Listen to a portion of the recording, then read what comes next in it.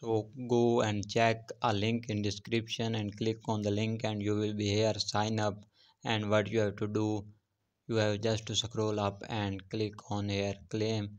I have already claimed and waiting for next next claim after 60 minutes. So i have got above doggies in one day single day 0 0.00125 thousand doggy. It's just in a single one and you have to click roll uh, after clicking on faucet as I have not verified so that therefore I am not getting these pins. So verify your email. So minimum withdraw is 10 doggy coins. So when you reach 10 doggy then you will type doggy coin address amount and transaction fee will be 0.5 doggy and click on I am not a robot and withdraw just so here is affiliate.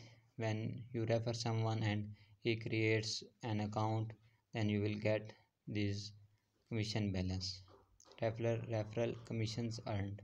So still I have no referral. Here you have to copy your link and share with your friends.